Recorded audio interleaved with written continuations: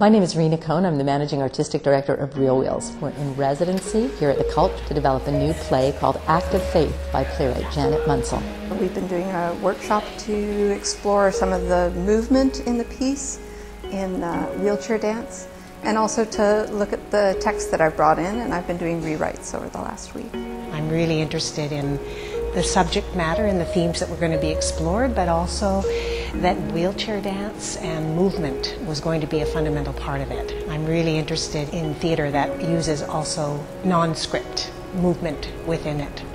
We make those movements part of the dramaturgy and the play itself. That's what's been really valuable about this week is that we're becoming clearer and clearer about what this piece can say.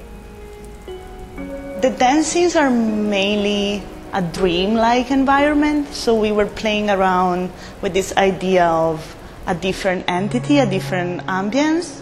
All of us have been stirred deeply and have brought questions and brought some of our own experiences to the table. So it's already doing that. It's really a piece that will um, raise some big questions.